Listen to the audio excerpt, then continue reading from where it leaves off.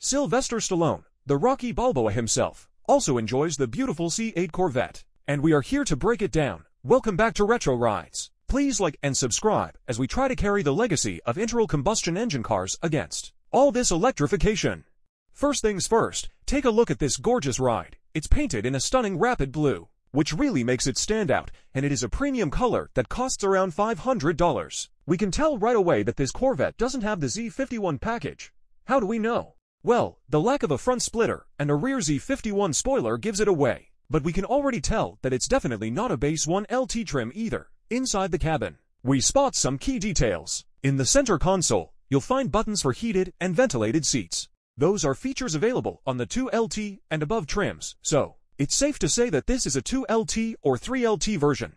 Take a look at the steering wheel. It's wrapped in leather and feels premium. This indicates that this Corvette is likely a 3LT version, with those upgraded suede microfiber seats that add a touch of luxury. The 3LT starts at around $88,745 for the convertible, and it's well worth it for all the features you get. Now, let's talk about what's under the hood.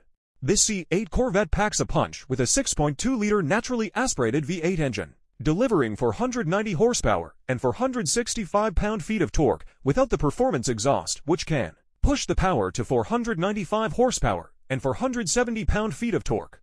All that power is efficiently managed through a spectacular 8-speed dual-clutch transmission. The 3LT trim comes loaded with features. You'll get front and rear cameras for added convenience and safety. A suede interior that's both stylish and comfortable. Blind spot monitoring and cruise control for those long drives. Plus, you have three different driving modes to choose from, so you can tailor your experience to your liking. Along with all these, the 3LT comes with upgraded GT2 bucket seats over the trims. Body color heated driver side auto-dimming power folding outside mirrors with integrated turn signal indicators, and the suede microfiber wrapped upper interior package which also comes with the headliner, visors, A-pillar trim, and trim above the windshield and rear window which really elevate this car's interior. Now, one of the few downsides to the convertible C8 is that you can't experience the sight of that beautiful naturally aspirated V8 engine like you can in the coupe. But hey, with the top down on a sunny day, You'll have the wind in your hair and the roar of the engine in your ears. Did you know Sylvester Stallone also owns another Chevrolet Corvette?